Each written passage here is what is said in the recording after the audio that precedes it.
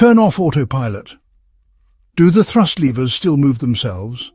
On an Airbus, yes. On a Boeing, not always. This is how auto-thrust and auto-throttle systems quietly go their own way.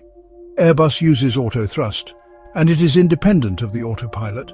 You can hand-fly the aircraft manually while the auto-thrust system keeps controlling engine power. It stays on until you turn it off, either by pushing the auto-thrust button or manually taking over with the levers.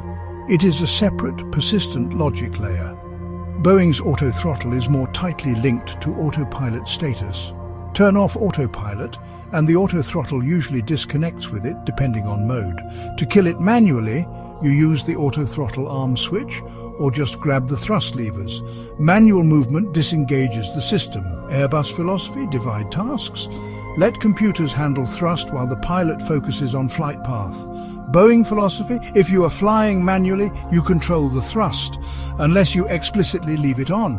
It is trust in systems versus trust in pilot judgment.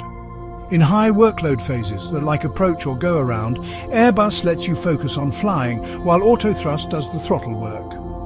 In Boeing, you will often fly and throttle manually unless you re-engage it. It is a small difference, until your hands are full. So which would you rather have? A thrust system that stays on until you say stop? Or one that hands over control when the autopilot is off? Auto thrust or auto throttle, your pick.